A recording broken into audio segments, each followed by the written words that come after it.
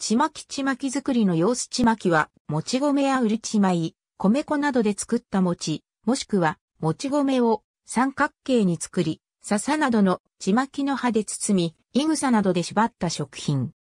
葉ごと蒸したり茹でて加熱し、その葉を剥いて食べる。五感の風俗、道吉に古い記載があり、ちまきは、角きびとも呼び、小もばの葉でもち米を包んで、悪で似たものと記載されており、同様の記述が宗書の風土記に見られる。説問開示の原書にはないが、壮大になって追部された説問神父には、ちまきの字が追加され、本字を、都市、字義を、足場方米なりの葉で米を包むなりとする。この字の作りである、には、集めるなどの意味があり、米を寄せ集めたものが、ちまきということになる。通説では、ちまきの最古の言及とされる、宗書、風土記では、の字が使われる。ちまきは作りを、同音の簡単な部品に置き換えた略字である。日本ではもともと笹ではなく違いやの葉で巻いて作られたことから、ちまきと呼ばれるようになった。中国において、ちまきは水分を吸わせたもち米を直接足の葉で包み、茹でる、もしくは蒸す方法で加熱して作る方法が主流である。材料の米には、もち米のみを用いることが多い。米と一緒に味付けした肉、塩漬け卵、夏目、栗などの具や小豆あんなどを加えることが多い。特別なものでは、アワビやチャーシューを包んだものもある。形は正四面体が多いが、脳型体、円筒形のものもある。中国北部では甘いちまき、南部では塩辛い味のちまきが好まれるが、そうした違いは南北との交流が盛んになった現在では少なくなってきている。吉林省、遼寧省、内モンゴル、天津市、山東省、上海市、チャンス省、厚生省、関東省、福建省などの地域では、単語節にちまきを食べる習慣がある。中国の戦国時代、その政治家で詩人の屈原は、骨羅港で、受水自殺したとされる。後に次のような伝説が生まれた。屈原の命日には、民衆はこれを傷んで、穀物の米を竹筒に詰めて、川に投じていた。しかし、五冠の初めの兼務の頃、調査の苦局というものの夢枕に、屈原が現れ、穀物は悪い竜に食べられてしまうので、香料が苦手とする大地樹の葉で塞ぎ、魔除けの五色の糸で縛って、川に投げ入れげよと諭したのが、ちまきの起源とされる。ただしこの伝説は、元代から数世紀経った高人史戦、俗祭回帰に記載されたものである。これはあくまで起源伝説であって、屈原にちまきを備える慣習が、この伝説の通り起源一世紀に遡るとは鵜呑みにできない。屈原とちまきが結びつけられたのは、せいぜい5世紀前半、世節信号においてであって、また、6世紀より以前に、屈原が広く人口の間で祀られていたという実証はない。軽祖祭時期は、単語説の川の系統、屈原の供養とする慣例ができたとするが、ちまきを備えるとはしておらず、ちまきは夏至の食べ物だとしている。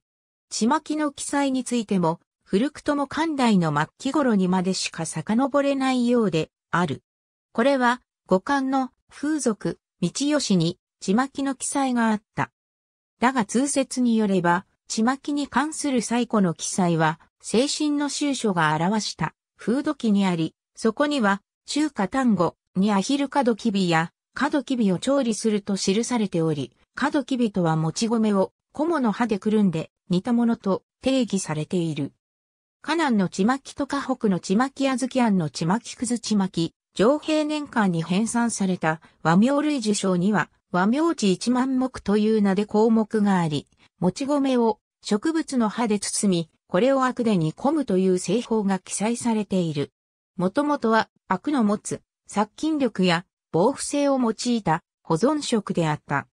その後、各地で改良や簡略化が行われ、京では餅の中にあんを包み込んだり、餅をくず餅に変えるなど、独自のものもできてきた。ちまきは、柏餅と並ぶ単語の節句の供物として用いられる。ちまきは地方によって形や中身が異なる。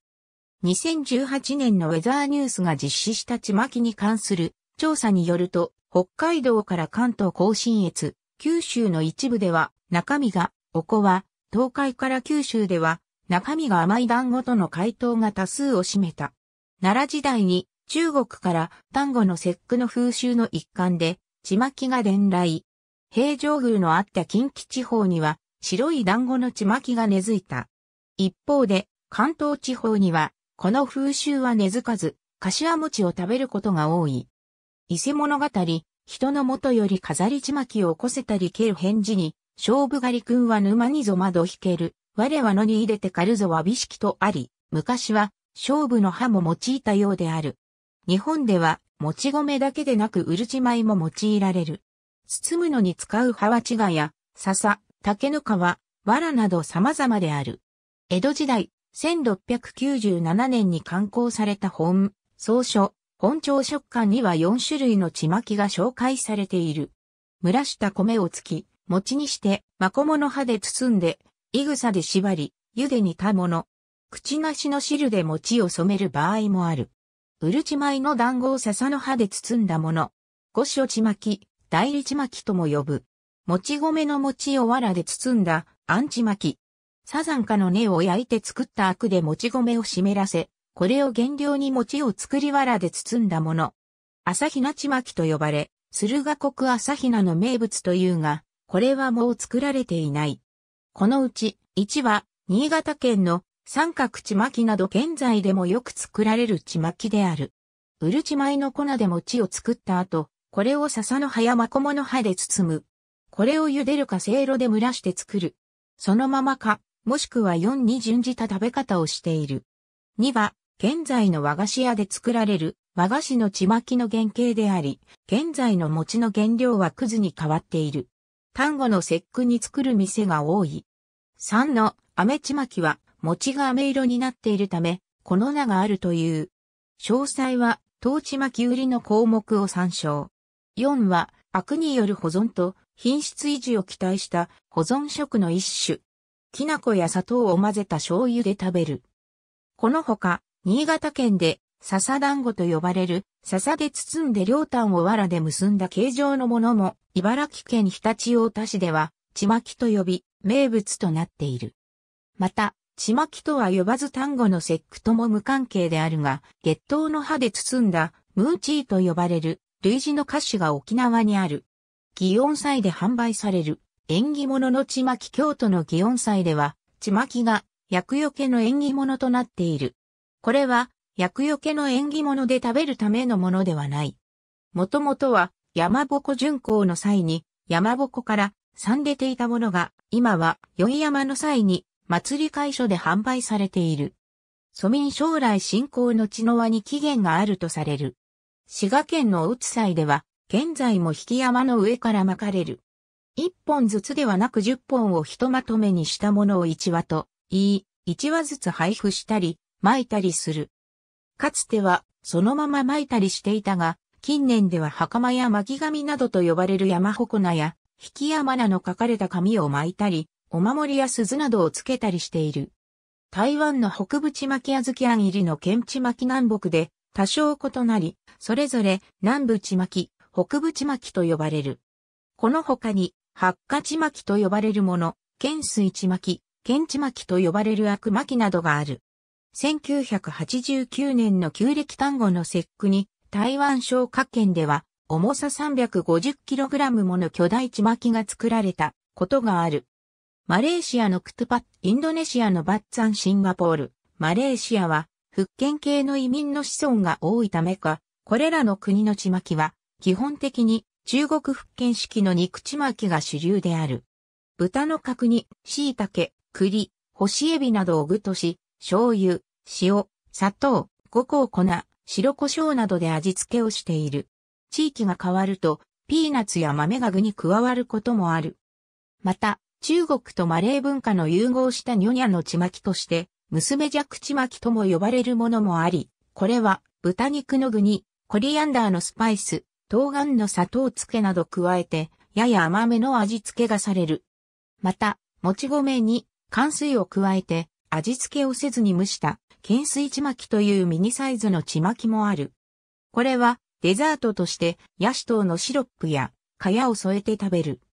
インドネシア、タイのちまきも基本的に中国系の国民が作るが、主に福建料理風であり、名称もビンナン語の場 CH や NG からの借用語で、バッチャン、バチャン、バチャンと呼ばれる。脂身の多い豚肉、落花生などを煮て包んだ甘辛い味である。ありがとうございます。